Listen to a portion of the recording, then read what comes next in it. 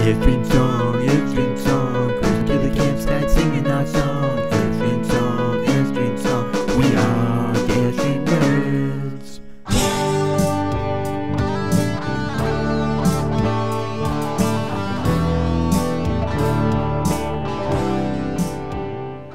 Hi, this is Jeff from Airstream Nerds.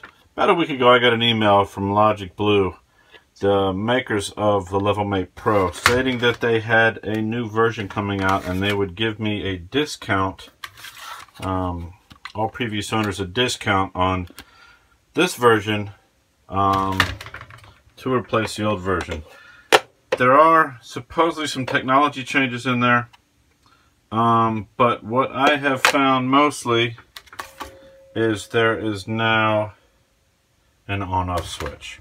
So let me open up and we'll compare sizes. Alright, so it's open up now and it is identical in size to the old one. Um, again, there's an on-off switch on the side here. When you power it on, it beeps to let you know it is powered on.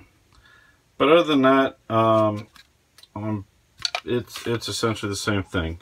Now, I like the on and off switch a lot, mainly because when we're parked, even though it goes into sleep mode, it has to run off the battery a little bit in order for it to wake up.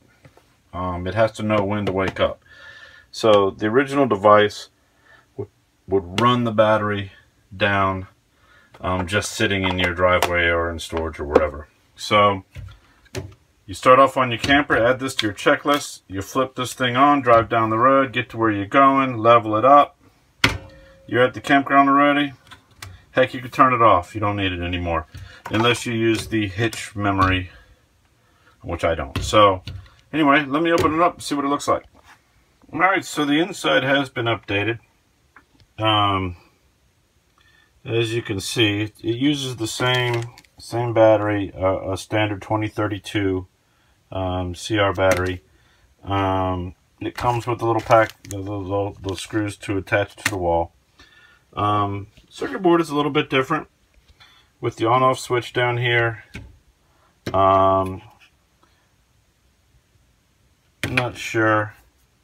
I'm not a circuit engineer, so I'm not sure what everything is. It looks like it could be some sort of buzzer or some sort of something like that.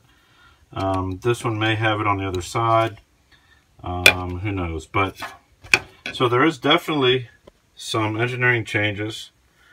Some of it could be just to save some money. Maybe the board's a little cheaper. Looks like there's a programming port here. Not sure how this one is. Um, but anyway, um, I'm psyched for it just because the on-off switch. Um, turn it off. I'm still going to replace the battery every year along with my sensors for the propane along with the smoke detector batteries and anything else in in in my um, camper that has batteries I'm going to change as part of my dewinterization every spring um, even if the batteries aren't dead still think it's a good idea to make sure you have fresh batteries and everything before you start off on your camping season I'm going to put this thing back in luckily it uses it is the same exact size so it's going to use the same screw holes as before I'm going to go ahead and, and, put it in. I'm going to program it. Um, I did connect the old one. And just so I wouldn't have to remeasure everything and remember anything, I wrote down the eight or nine settings that were part of part of the original install. That way, when I go to do it, um, I won't have to go back out and measure and do all that.